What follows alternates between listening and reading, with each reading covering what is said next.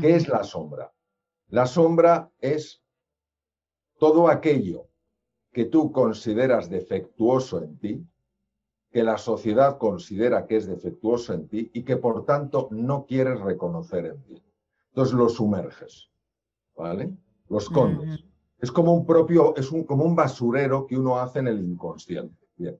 Pero claro, lógicamente, ese basurero, que ya veremos que no es tal, ese basurero mm, produce cosas incómodas. Entonces tienes que mm, dedicar una energía enorme para que no llegue el olor a la conciencia, para que no eh, produzca ningún tipo de problema. Entonces ahí se va una enorme energía del ser humano.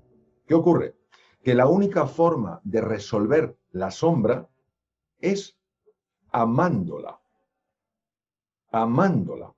¿Y quién es capaz de amarse a sí mismo no en pedacitos. Yo amo este trocito que me gusta y este que no me gusta no le amo. O te amas de forma completa o la sombra siempre estará ahí. Entonces, es como, yo recuerdo hace muchos años la película, me impactó mucho, basada en la obra El fantasma de la ópera. El fantasma de la ópera vivía en los sótanos de la ópera de París y se dedicaba a asustar a la gente. Entonces, en el fondo, era un niño que tenía una deformación y no se sentía querido. Entonces, su forma de expresión era aterrorizar a la gente. Es decir, era llamar la atención, pero en el fondo, ¿qué quería? Él solo quería sentirse amado. Si alguien lo hubiera abrazado a pesar de su deformación, ese niño se hubiera transformado y ese miedo habría desaparecido. Entonces, por eso lo que se resiste persiste. Nos resistimos a la sombra. No queremos entrar adentro. Entonces hay una frase muy bonita, ¿no? que es, para llegar a la luz tienes que pasar por la cruz. Hmm. Entonces, claro que es una cruz encontrarte con eso que no te gusta, pero cuando tú eso lo aceptas, lo asumes y lo abrazas, lo transformas. Entonces, ¿qué pasa? Es una barrera tan intensa que mucha gente no, no quiere, dice, no, no, yo no quiero encontrar eso, yo, yo, yo, yo no quiero, yo no quiero, no quiero. ¿Por qué? Porque no saben que detrás de eso está la luz. Oye, Mario, ¿qué tiene de bueno el ego?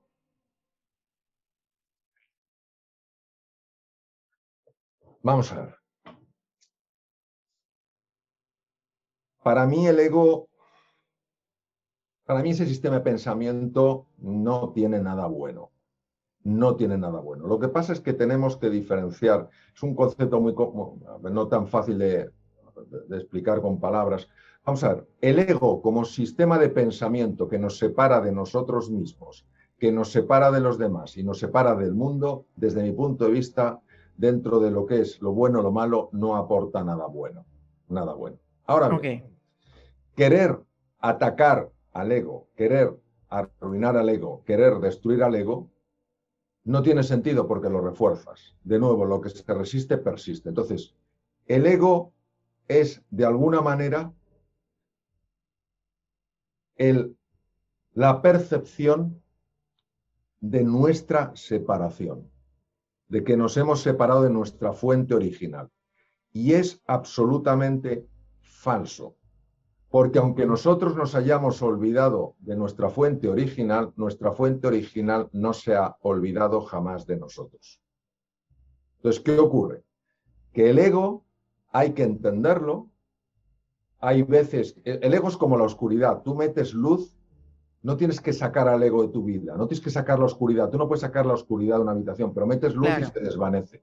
Pero fíjate, no estás peleando contra el ego, tú estás metiendo luz. Otra cosa es cuando se habla del ego como el yo. Yo soy Mario, yo tengo tantos años, yo soy español, etcétera, etcétera. Entonces, hay un yo funcional y hay un yo disfuncional. El yo funcional es el que me permite reconocerme. Me permite reconocerme. El yo disfuncional es aquel que pretende que todo el mundo gire a mi alrededor.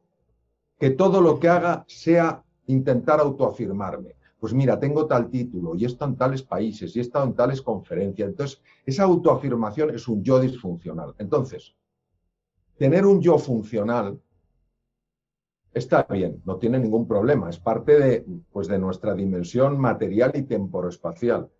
El problema es que el ego a lo que invitas al yo disfuncional. Es un yo que no permite el encuentro real con el tú. Por tanto, no permite que emerja en nosotros. Ah. ¿Sabes lo que te quiero decir? Wow, ya va. Yo voy a, yo voy a estar viendo este capítulo y voy a echar para atrás en este momento. Voy a retroceder para volver a escuchar lo que acabas de decir. Bueno, es, un, es que es un tema realmente importante en la vida de un ser humano, ¿eh? porque fijaros, es el origen, al menos en lo que yo conozco, de la mayor parte, por no decir de todos los desequilibrios que los seres humanos tenemos. Nuestros problemas de ansiedad, nuestros problemas de depresión, nuestras preocupaciones, nuestras angustias, todo eso aunque tenga una expresión muchas veces a nivel del cerebro, de los neurotransmisores y de todo eso, por supuesto, el origen, desde mi punto de vista, es mucho más profundo que eso. Es mucho más profundo. Por eso, por ejemplo, una persona que se sienta rodeada, que se sienta querida, que se sienta valorada, es mucho más difícil que entre en un proceso de depresión o de ansiedad. Mucho más difícil. Correcto. Entonces, por eso, por eso creo que nos quedamos a veces en las ramas y no vamos a la raíz. Entonces, las ramas pertenecen al mundo físico y es importante, claro que sí. Hay un mundo metafísico que está más allá de la física y que es nuestro sistema de pensamiento, que es el que está haciendo que veamos las cosas de una manera, que pensemos de, una, eh, que pensemos de, determinados pensamientos, que tengamos eh, eh, las sensaciones los sentimientos que tengamos y tomemos las decisiones que estamos tomando. O sea, fijaros la cantidad de cosas, fíjate la cantidad de cosas que están en juego, pero no solemos ir ahí.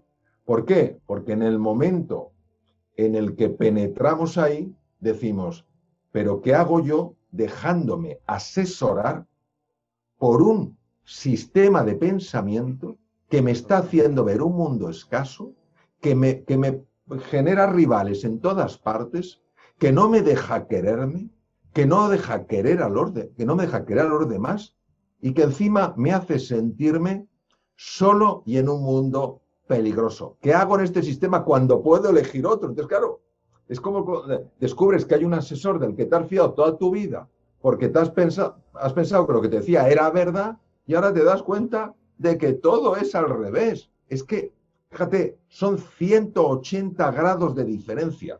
No son ni 40, ni 45, ni 90. Son 180 grados. Son visiones opuestas. Donde hay escasez, abundancia. Donde ves solo el aspecto superficial de las personas, ves el profundo. Donde solo ves conflicto, empiezas a ver encuentro. Donde ves rivalidad política, religiosa, no religiosa, tal cual, empiezas a ver lo que a todos nos une. Nuestra voluntad de ser felices, nuestra voluntad de no sufrir. Entonces son 180 grados aparte. Eliges el uno o eliges el otro. ¿Y cuáles son esas herramientas que yo puedo usar entonces para irme al otro lado? O sea, ¿por dónde se puede empezar? Eh, cuáles son las principales? Bueno, yo creo que hay eh, herramientas que afectan, o, sí, herramientas que, que, son propias del cuerpo, herramientas que son propias de la mente y herramientas que son propias del corazón o del alma, como queramos llamarlo. Las herramientas propias del cuerpo son las siguientes. Primero, el cuerpo no es una simple máquina. El cuerpo ha sido también parasitado por ese sistema de pensamiento. Entonces, ¿cómo liberas el cuerpo de ese sistema que parasita? Pues mira, desde la postura que tienes a lo largo del día, hasta la forma en la que respiras, el tono de tu voz, el ejercicio físico que haces, eh, la, comida eh, que ingieres, el tipo de comida, el descanso, todo eso tiene un impacto, por sorprendente que parezca, tanto en la dimensión mental como en la anímica. A nivel de la mente, a nivel de la mente está clarísimo. En mi caso, el elemento diferencial es entrar en el silencio y mantenerme en el presente decir, no permitirme, eh, no permitir que ese sistema de pensamiento me lleve al pasado para lamentarme por lo que hice o dejé de hacer, o que me propulse al futuro para angustiarme, preocuparme por lo que puede pasar. Entonces, mantenerme en el presente. Y luego, para mí un tema de una importancia extrema es el cultivo del silencio. ¿Qué es el silencio? El silencio es un espacio donde aparentemente no hay nada y donde hay una profunda quietud. Solo en el silencio, según mi experiencia, en base a mi experiencia, te, te habla el ser. El ser te habla en el silencio. Pero claro, para el sistema de pensamiento que utilizamos, el silencio es una tontería. Claro. Pero fíjate, que, fíjate qué bonito. Eh, Rubinstein, el, gran, el grandísimo pianista polaco, uno de los más grandes pianistas de la historia, en una, en una ocasión un periodista le dijo, maestro, ¿cómo es posible que usted nos emocione de semejante manera cuando toca el piano? Cuando otros grandes pianistas con el, mismo tipo de piano, la misma partitura, no nos emocionan. ¿Dónde está la diferencia? Si tocan la misma partitura, mm, los dos son muy buenos y el piano es la misma marca de piano. ¿Dónde está la diferencia? Fíjate en la contestación de Rubinstein. Ah, el secreto está en el silencio, el espacio entre las notas.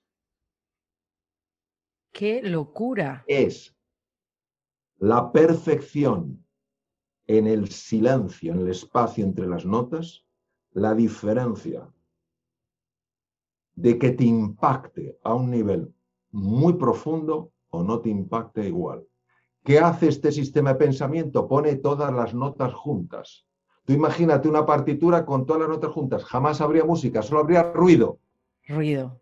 Por eso cuando tú abres el espacio entre las notas, que es el silencio, entonces empieza a emerger la música. Entonces, desde el punto de vista de la mente, estos dos temas son, clave. El cultivo del silencio y estar en el presente, en el aquí y en la ahora. Y desde el punto de vista del cultivo del alma, hay muchas cosas que se pueden hacer. Por ejemplo, esto se ha hablado por activa y por pasiva, hay muchísimos estudios científicos, el concepto de la gratitud. Vamos a ver. Uf, sí, qué importante, qué, bueno, qué bueno que tú yo me doy un paseo, me parece lo normal. Hay personas que no tienen piernas o hay personas que están en una silla de ruedas. Y yo doy por hecho que ando así, tengo dos brazos, tengo eh, cinco dedos en cada mano. Hay gente, yo he conocido gente que le faltaban un montón de dedos. Pero Mario, ese sentimiento o esa sensación o esa conciencia de la gratitud viene o puede ser más fácil que venga cuando hay pérdida.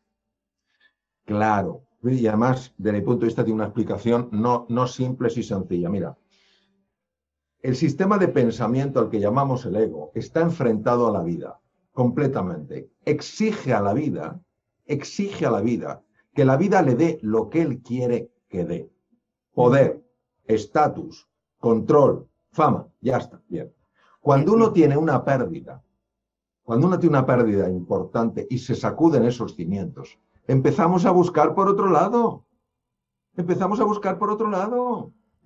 al buscar por otro lado, empiezas a encontrar lo que no se encuentra cuando no se busca. Mm. por eso muchas veces el propio Einstein hablaba de que las crisis eran muy duras, pero eran las que traían los grandes avances en la humanidad, porque nos saca de la zona de confort. Entonces tenemos que buscar por otros lados.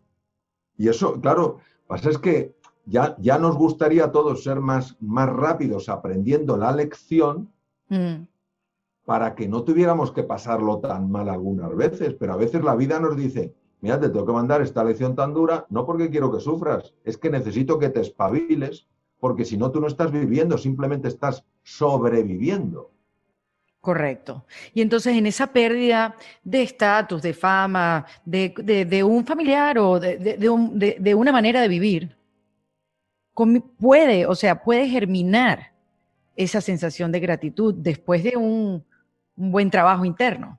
Sí, no, esto, esto es muy importante además hay que tratarlo con una sensibilidad enorme. O sea, muchísimo menos eh, el mensaje que estamos transmitiendo es, eh, oye, esto que te ha pasado, no. Cuando hay una pérdida, todos sabemos lo doloroso que es, todos hemos tenido pérdidas dolorosísimas, o, o muchos hemos tenido pérdidas dolorosísimas. De acuerdo. Primero hay un proceso de duelo. Lo que pasa es que uno no debe quedarse atrapado en el proceso de duelo.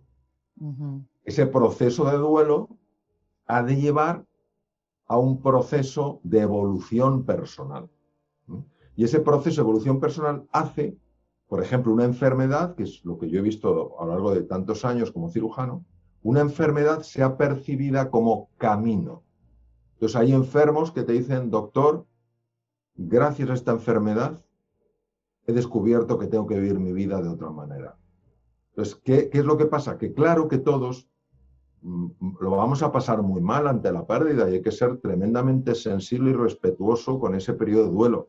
Ahora, lo que hay que tener cuidado es no quedarse en el proceso de duelo. Es decir, si yo me caigo al suelo, voy corriendo y me hago daño, claro que me va a costar un poco de tiempo el recuperarme de mi golpe, pero lo que tengo que tener cuidado es no quedarme ya en el suelo. Ese es el problema. Entonces, ¿qué pasa? Que en el momento en que tú te levantas, si eso lo conviertes en algo que te ayude a crecer, no es que digas, oye, qué bien lo que me ha pasado porque he crecido, eso no va a ser así, pero vas a decir, oye, lo he pasado muy mal y sin embargo hay un crecimiento después de esto, lo que se llama el crecimiento postraumático. Está el estrés postraumático y está el crecimiento postraumático. Entonces, cuando hablas de la gratitud, este, más allá de la pérdida, o sea, sería lindo que nosotros podamos llegar eh, a entender el poder de la gratitud, de estar agradecidos por, por los más mínimos detalles del día a día, que, eh, que, esperar a perder algo. Claro, por supuesto, natural, efectivamente, es que eso es así. Eh, en el momento en el que una persona se da cuenta de que cosas tan sencillas como cuidar su cuerpo, cuidar su mente y cuidar su alma, su alma a través de la gratitud, de la compasión, del cuidar la naturaleza, la capacidad de perdón, cuando una persona se da cuenta de cómo eso afecta a su nivel de alegría, a su nivel de ilusión, a lo que le pasa en su vida, a su nivel de salud, entonces comprende que hay pocas cosas más importantes que practicar esto de forma habitual. ¿Qué ocurre? Pues es como todo, o sea, todos tenemos que pasar por una serie de lecciones. El ideal sería que tuviéramos una disposición muy buena para aprenderla, pero, pero a veces que somos muy borricos. Algunos de nosotros somos muy borricos. Muy borricos. Si no queremos aprender. ¿Qué, es borrico, Mario? Muy borricos, muy burros. Nosotros en España a los, a los burros le llamamos borricos. ¿Qué borrico es? O sea, qué borrico. O sea, no, no le da la gana. O sea, no es que no sea inteligente, es que no le da la gana. Entonces, es un poco decir, pues no, pues sí, pues sí, la, vida te está diciendo, mm, tienes que, tienes que, crecer, tienes que mejorar. Pues no, las cosas se hacen como las digo yo. Pues, pues la, vida te dirá, pues no, querido, eh, yo estoy aquí no para darte lo que quieres, estoy para darte lo que necesitas. Mira, Mario, tú sabes que yo llevo dos años conversando con mujeres ya lo habíamos hablado. Em, y bueno, he conocido historias de reinvención de mujeres y, puntos de vista, muchos puntos de vista, eh, y, cómo cada una ve la vida. Y lo que a mí me ha impresionado a lo largo de estas conversaciones, que han sido unas cuantas, es que, que somos somos tan distintas, pero a la misma vez tenemos un pedacito de cada una de nosotras. Yo me puedo ver reflejada en cada una de estas mujeres, a pesar de que seamos muy diferentes y que tengamos puntos de vista distintos. Conversar contigo, no quiero eh, desaprovechar la oportunidad de preguntarte, sabiendo tanto de los procesos de reinvención y transformación del ser humano, ¿puede haber alguna diferencia entre la reinvención o el proceso de reinvención de un hombre con el proceso de reinvención de una mujer? Muy buena, muy buena pregunta. Eh, vamos a ver, vamos a, vamos a pensar juntos porque no te puedo dar la respuesta. Vamos a pensar juntos, aquí estamos. Porque, porque no te puedo dar la respuesta inmediatamente. Vamos a ver. A ver. Eh, si pensamos a nivel cerebral, el hombre es una, eh, el hombre, el, género masculino está mucho más enfocado en, la meta de algo. La mujer está más enfocada en el proceso de algo. El hombre quiere llegar al objetivo en general, hablo en general, la energía masculina, llegar al objetivo. A la mujer le importa llegar al objetivo, le importa llegar juntos. ¿Me explico? Entonces, mm. En mi experiencia, en mi experiencia, la mujer está más dispuesta, más abierta que el hombre a entrar en el mundo emocional. Y esto se puede ver clarísimamente con algo que todos los hombres conocemos.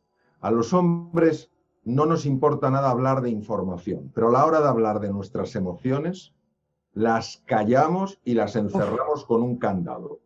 Las mujeres abrís vuestro mundo emocional y en eso encontráis una compañía, un consuelo.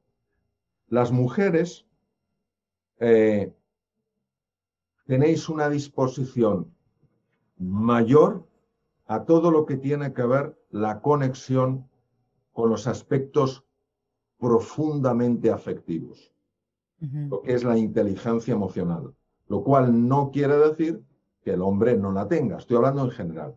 Las mujeres tenéis una mayor conexión entre los dos lados del cerebro, es decir, estáis, sois personas que podéis manejar distintos elementos simultáneamente. Y desde el punto de vista de despertar la dimensión del ser, del ser más profundo, yo diría, se pueden molestar algunas personas de mi mismo género, yo diría que veo en la mujer una mayor disposición a ese recorrer el camino de la heroína. Está el camino del héroe y el camino de la heroína. Son caminos de orden espiritual. Es decir, creo que verdaderamente eh, eh, en este sentido estáis en una, en una posición eh, muy, muy ventajosa que no os la ha regalado nadie, no os la ha regalado nadie, pero está en, gran parte eh, implícita en vuestra grandeza, en vuestra verdadera naturaleza. A las mujeres, desde mi punto de vista, solo os hace falta una cosa. ¡Ay, qué maravilla! ¡Qué cosa, Mario! Una, una cosa, nada más que una. No tenéis ningún problema de inteligencia, no tenéis ningún problema de creatividad, no tenéis ningún problema de espíritu emprendedor, no tenéis ningún problema de aguante físico, mental, no tenéis ningún problema, ninguno. Solo os falta una cosa, creer más en vosotras mismas. lo único. amor. Es lo único. Es lo único.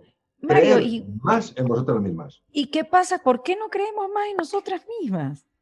Pues mira, yo creo que aquí eh, hay que buscar eh, bastante el condicionamiento cultural. Vamos a ver, ¿por qué los hombres, ¿por qué los hombres no eh, hablamos más de emociones? Porque realmente sea solo el, el elemento estructural que cuente, ¿no? Porque hemos sido condicionados que hablar de emociones es de gente blandita, han, tenido, que publicarse libros sobre inteligencia emocional con un montón de investigación de... Ah, se puede hablar de emociones.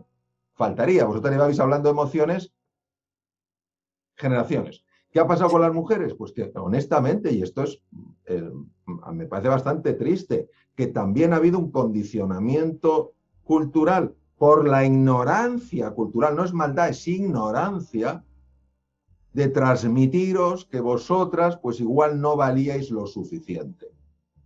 Mira, yo he hablado mucho con directores de recursos humanos a lo largo de los años y ellos me lo han dicho y me lo han confirmado mujeres. Imagínate que hay un puesto vacante, una plaza, eh, eh, en un, no sé, director de no sé cuántos, director de no sé cuántos. Eh, el máximo para poder acceder son ocho cosas. El hombre se presenta con cuatro y la mujer no se presenta con seis. ¿Entiendes lo que te quiero decir? O sea, la mujer tiene dos cosas más, pero no se presenta. ¿Por qué? Porque dice, no, no soy lo suficientemente buena, ¿no? Entonces, claro, en el momento en el que la mujer recupera su autoestima, es recuperarla, porque, porque, porque la grandeza está dentro. Mira, yo suelo, yo suelo poner una, una, una vez tuvo bastante impacto aquello, se me ocurrió, no me, parece, me parecía normal, o sea, enseñé una cosa y dije, esto es, esto es pirita de oro. Eh, digo, esto es pirita de cobre. Y esto es una pepita de oro. Parecen igual. Pirita de cobre, el oro de los tontos. Se llamaba así en el lejano oeste. Encontraban esto, nos hemos forrado y era pirita de cobre, lo que que parece oro. Entonces, ¿qué pasa? Que las mujeres sois oro. Y os veis muchas veces como pirita de cobre. Y sois oro. Entonces no se trata de decir, no, me tengo que convencer de que soy oro. No, tengo que reconocer quién soy. Y en el momento en que reconozco quién soy, esto no es una llamada a la arrogancia, es una llamada a decir, yo tengo mucho que aportar en este mundo, yo tengo mucho que aportar en esta sociedad, yo valgo realmente la pena como mujer, no me tengo que masculinizar